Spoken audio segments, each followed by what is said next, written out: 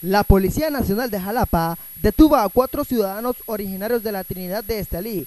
Estos venían con 138 tarros pastillas de sulfato de aluminio, o mejor conocidas como pastillas de curar frijoles, equivalente a 44.160, cinco cajas de manteca, dos sacos de café procedentes de Honduras de manera ilegal. ¿Y con qué finalidad los jóvenes traían esas pastillas cuando este, no son comercializadas aún? Estas son restringidas por el Estado y las traen procedentes de Honduras para comercializarlas, no sé a dónde, porque son originarios de la Trinidad, una comunidad que es de las cañas. La vez pasada agarramos otra cantidad y son de las cañas también.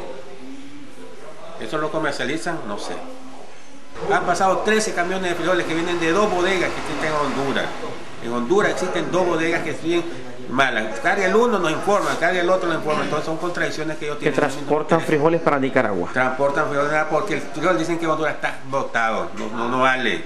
Entonces lo están buscando cómo introducir a Nicaragua. Entiendo que es ilegal, pero nosotros con eso nos ganamos el pan de cada día. Incluso yo lo ocupo para comprar un tratamiento y hacerme los exámenes porque yo estoy enfermo de los riñones.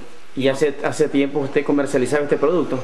No, no, es un tiempo ahí cada seis meses, tengo como tres veces viajes uno que he echado, porque para comprar mi tratamiento. Como cada seis meses me ha dado chequeo, yo un tratamiento. La comercialización del producto de pastillas de curar frijoles es prohibido sin autorización del Ministerio de Salud.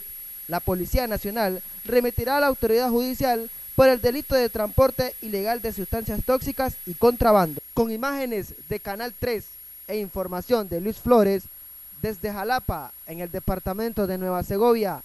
Javier Rivera Cornejo, Acción 10.